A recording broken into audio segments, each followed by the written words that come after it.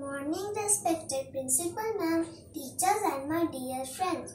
Today in this fancy dress competition, I'm dressed like Anna, the fairy tale princess of Frozen.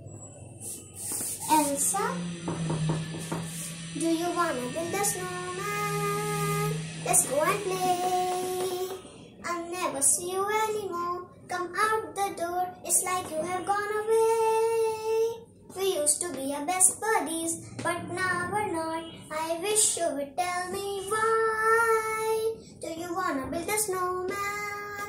It does not like to be a snowman. Go away, Anna. Oh, okay, bye. Hello, I'm Anna, the younger princess of the kingdom Arendelle.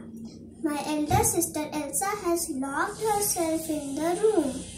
Now she does not play with me not even talk to me. She is very sad and afraid about something and she does not want to tell her problem with me.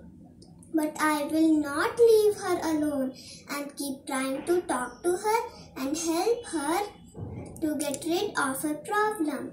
You should never leave your friends or loved ones alone in trouble. You should talk to them and help. I'm sure the warmth of love will definitely melt the ice of.